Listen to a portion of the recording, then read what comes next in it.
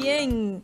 Bueno, Dios muchísimas mío. gracias, muchachos. a, a Darío, que nunca A llegó el queso. propósito de que estamos eh, agosto, septiembre, hace precisamente un año, para estas fechas sonaba un escándalo importante en nuestro país relacionado a la hermana del procurador de la República, Maybeth Rodríguez, y el destacado periodista Marino Zapete, una persona que poco pueden tildar cuando hablamos de temas de la índole o del nivel que está acostumbrado Zapete y hacer ataques directos con prueba, casi en todos los casos, y que alguien hasta el momento pueda decir, eh, no, no fue así, o someterlo y que haya eh, salido culpable por difamación o por otra cosa, estamos hablando de afectar intereses de gente po- poderosa y de millones y miles de miles de millones de pesos.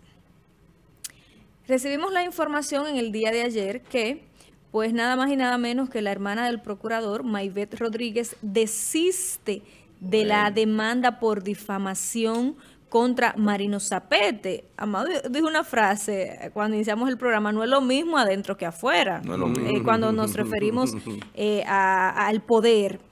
Y quiero recordar algunas de las situaciones que se dieron en este momento y la motivación, eh, las declaraciones de Zapete en Llegó donde se ve involucrada eh, o donde la involucraba ella por beneficiarse o a su compañía de beneficiarse de alrededor de mil millones de pesos.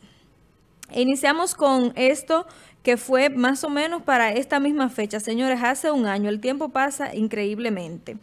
Y es que debemos de recordar que la hermana del procurador pues acusó a Marino Zapete por difamación, e in- eh, por difamación.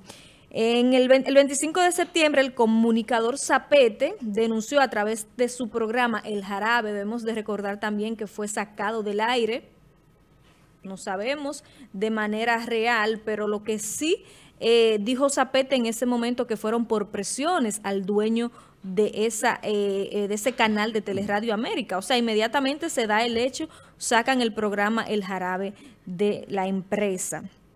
Entonces, en, eh, cuando Marino Zapete eh, la mencionaba ella de que se había beneficiado a título personal firmando un contrato con el Ministerio de Obras Públicas, entonces dirigido por el candidato presidencial Gonzalo Castillo, que son uno de los tantos escándalos que se ven envueltos alrededor de esta figura eh, puesta por Danilo Medina para ser el candidato por el PLD. Maybeth Rodríguez daba declaraciones en ese momento, muchachos. La imagen número 3 que quiero citar, mírenla ahí en pantalla. Esto decía la hermana del procurador para septiembre del 2019. Yo le pregunto a ustedes y a la gente que nos ve, ustedes que son abogados y como ciudadanos, Carolina, acercar el monitor. el monitor para a usted leer. que lo inculpen, que usted se benefició o que se llevó de manera irregular mediante contratos de mil millones de pesos. Usted Sin luego tener- va a Sin desistir. tener familia, empresario, pero ¿qué sin dice, ser empresario. Eh, mira lo que ella decía para esta fecha, septiembre del 2019. La intensa campaña mediática desplegada desde septiembre del 2019 parece haber creado una percepción que desplaza cualquier intención en búsqueda de la verdad y que se haga justicia. Ella decía que era una campaña mediática lo que se estaba haciendo en contra de su persona y que esto no iba a permitir eh, que hubiera justicia en torno a su caso o que se le había hecho mucho daño en lo que tiene que ver con su imagen.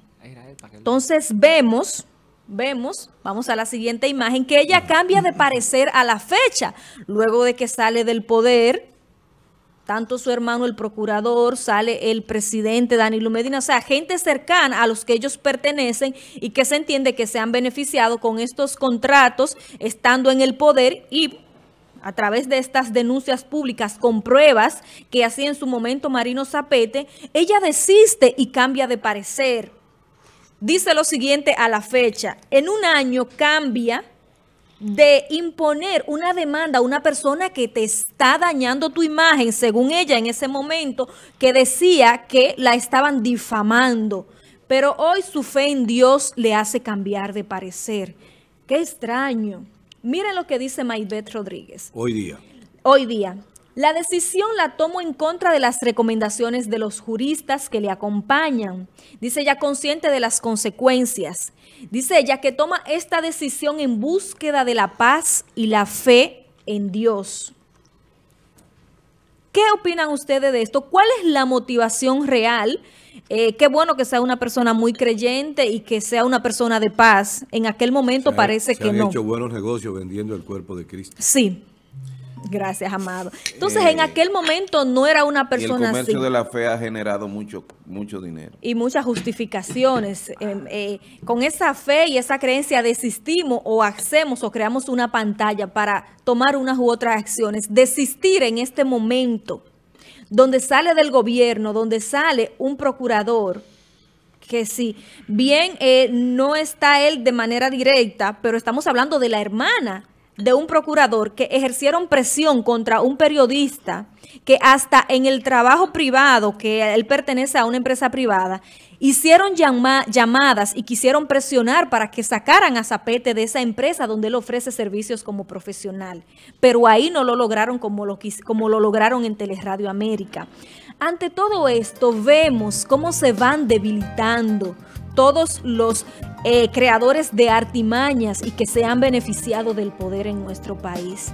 Nada es para siempre. Y qué bueno ver, qué bueno ver que esta dama, esta señora, ha entendido que al parecer no será tan beneficiada de la justicia que tenemos, la justicia que tenemos hace- en nuestro país. ¿Ella toma esa decisión aquí, estando en el país o desde París? Sería bueno saber. Creo que ella está en el país, porque no he estado leyendo todas las informaciones, pero sé lo que quieres eh, plasmar con tu interrogante.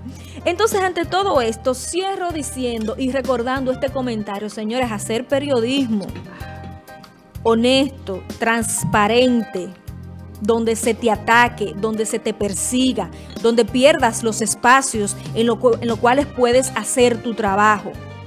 No todo el mundo eh, se pone esos pantalones porque se pierde y se pierde mucho. Hablar de periodistas como Edith Febles, que fueron sacados de los programas. Hablar de Ricardo Nieves, que fueron sacados de las empresas en las que trabajaban.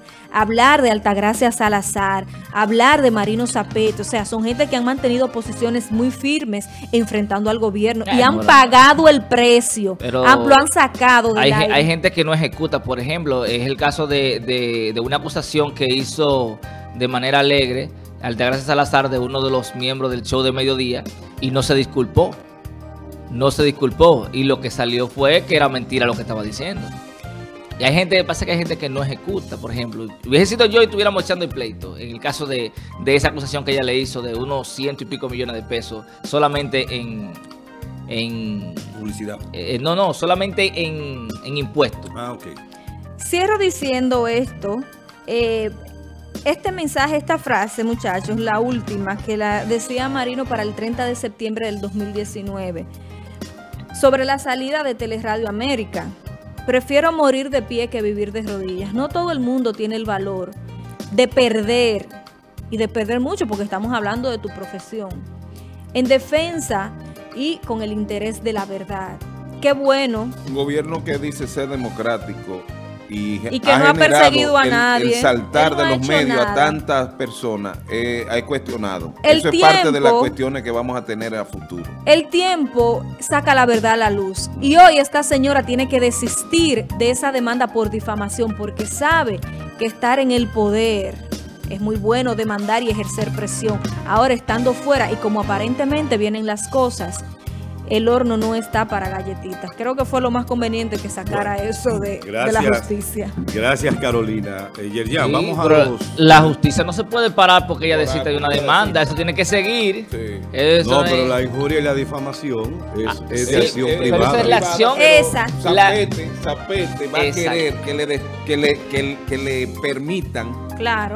establecer que él en ningún Tenía la momento ha cometido injuria, Claro. ni ha cometido difamación y esto, aunque ella trata con esto No es importa, de, es de suavizarle es la que la acción, la acción penal en este caso es de la del, de la- del, del querellante Sí, y él sí. decide cuándo terminarla. Zapete no puede continuar No, con pero el el proceso. Ministerio Público Oye, Claro, está tampoco- acompañándolo. es que no, es que el Ministerio Público... Óyeme, el desestimiento de este proceso se Es va a reproducir en la investigación No, directa pero Claro, pero a- ella tiene que seguir. espérese, espérese, Ella no va a estar, pero la van a traer de espérese, nuevo. pero espérese, espérese. Vamos a ver.